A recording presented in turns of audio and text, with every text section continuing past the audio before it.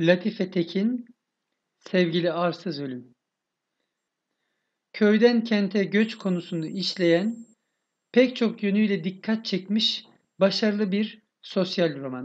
Evet bu eser sosyal roman özellikleri gösterir.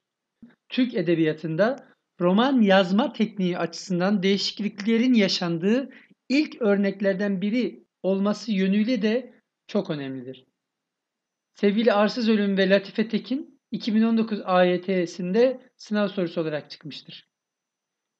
Eser Aktaş ailesinin köyden kente göçünü işler. Bu ailenin üyeleri Huvat, Dirmit ve Atiye'dir. Huvat ve Atiye evlidirler.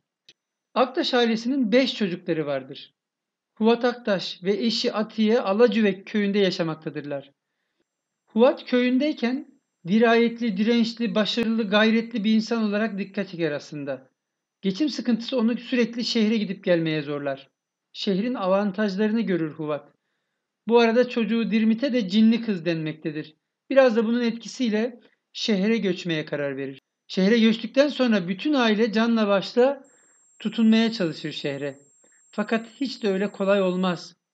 Beş çocuk ve geçim sıkıntısı Atiye'nin sırtına yüklenir. Bu yük onu sürekli hasta eder. Bu arada Dirmit ailenin mücadelesine destek olmaya çalışmakla birlikte büyük şehre uyum sağlamayı başarır. Hatta 1960'lı yılların sokak hareketlerine de katılır. İnatçı bir kişiliktir. Dirmit kendi evleriyle başka evler arasında karşılaştırmalar yaparak yaşamı sorgular. Ailenin reisi Huvat, tek başına köyün dünyasını değiştiren bir aile reisidir. Fakat Şehre gittiğinde kimlik ve benlik bocalamasına girer, ciddi sıkıntılar yaşar.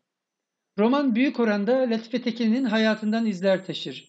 Kendisi Kayseri'nin Bünyan ilçesine bağlı Karacafenk köyünden İstanbul'a göçmüş bir ailenin çocuğudur.